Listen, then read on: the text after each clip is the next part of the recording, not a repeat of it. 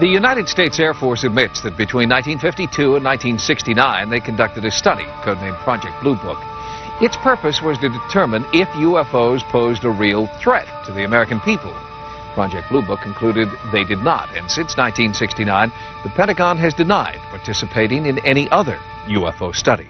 But ufologists believe this is a lie.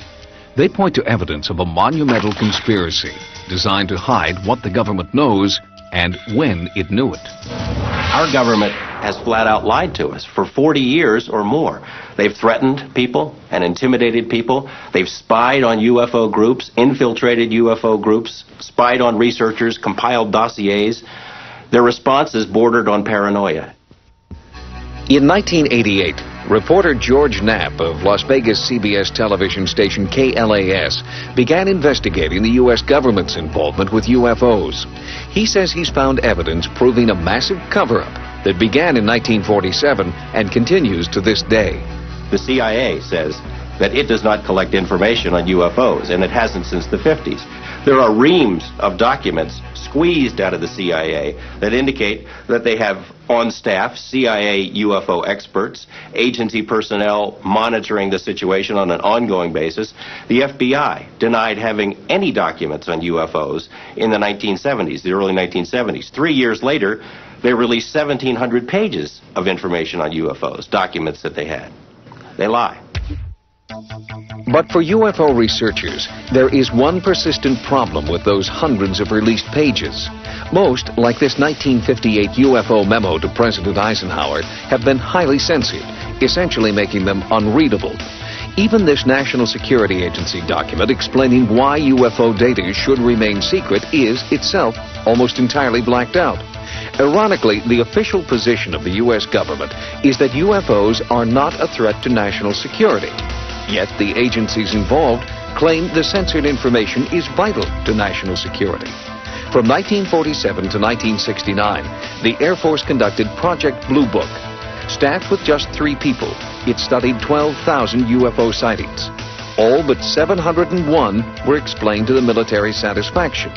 And the group that remained unexplained? It does not contain any pattern of purpose or of consistency that we can relate with any, to any conceivable threat to the United States. The Air Force closed Blue Book in 1969, but project critics weren't satisfied. The first person to head it up, Captain Edward J. Ruppelt, quit in disgust, wrote his own book, and declared that there was something to UFOs, and the Project Blue Book was nothing more than a whitewash. Other government officials, including the senator and two former presidents, have tried unsuccessfully to shed some light on the UFO phenomenon. Arizona Senator Barry Goldwater, President Gerald Ford, and President Jimmy Carter, who actually saw a UFO himself and filed a formal report, have all sought to have top secret UFO information released to the public. All requests for that information were denied. Cover-up allegations aren't limited to the United States government either. Author Timothy Good claims that governments around the world are keeping UFO information top secret. And in his book, Above Top Secret, he claims only an elite few have access to that information. Because so little of the research is made known to top ministers. One country is bucking that trend. Belgium has acknowledged tracking unidentified, seemingly intelligently controlled craft in its airspace. Radar tapes released by the Air Force show an object jumping from 200 meters to 2,000 meters in one second, a distance of just over a mile. The Belgium Air Force has even put aside a plane to search for the objects. But the attitude of the United States remains very different. UFO experts claim our government is conducting top secret research into UFOs in the middle of the Nevada desert. South of a dry lake bed known as Area 51 is a place known as S4, allegedly home to a super secret government research facility. In the course of our investigation, we found a scientist who says he used to work there. Robert Lazar was shocked when he first discovered what it was he would be working on. I got out of the bus. I was told to walk directly through the hangar, and uh, immediately, uh, even before entering the hangar, you can see the edge of a disc. Uh, this is your classic flying saucer, two inverted pie plates, if you wish, uh, with a segmented larger area dome on top. Within minutes of that, I finally realized that this had nothing to do with something the government was producing. And it was quite shocking because everything inside was small. This is a full-size craft, 30, 35 feet in diameter, maybe 40. Uh, but you're looking at, at uh, seats that are, you know, 18 inches off the ground, obviously made you know, for, for something smaller. And certainly wasn't made for children to play in. Lazar says there were nine spaceships in all, and he claims to have seen one fly. It began to lift off the ground almost silently. There was a hiss sound, uh, like a corona discharge, if you hear around high voltage systems, uh, accompanied by a faint, it probably wouldn't have been brighter at, at night, a faint uh, blue glow around the bottom. As the craft approached about 30 feet, 20 feet, something like that off the ground, uh, that corona discharge disappeared. Uh, the sound stopped and the craft stood there silently and uh, slowly drifted over to the left and then to the right. The government denies they're testing alien craft at S4. Lazar no longer works there and nowadays spends his time working on one of his hobbies, jet car racing. He alleges that after he went public, security officers at the base threatened his life. He also says that his employment and military service records have disappeared. Despite repeated requests, the government can't find them.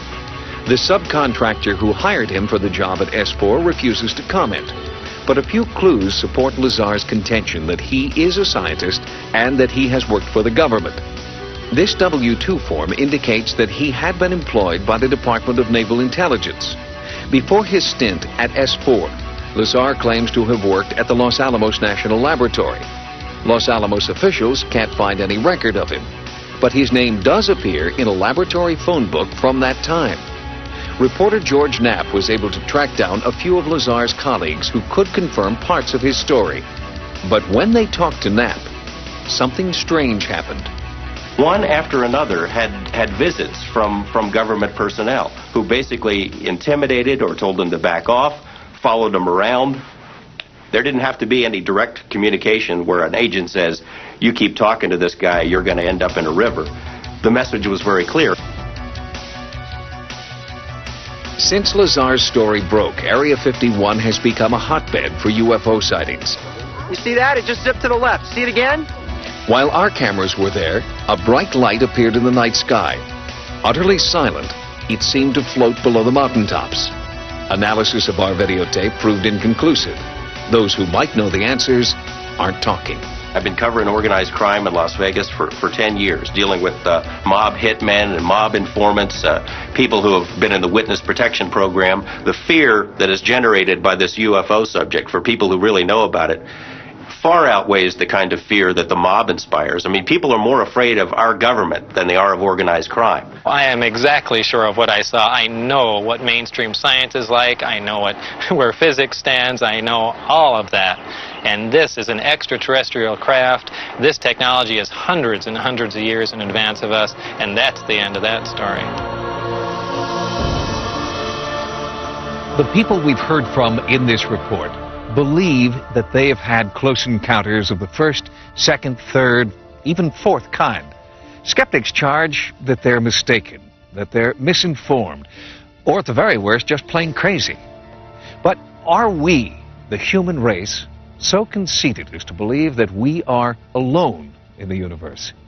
Is it possible that in the infinite frontier of space, this speck of intelligent life we call Earth is the only one for Sightings, I'm Tim White.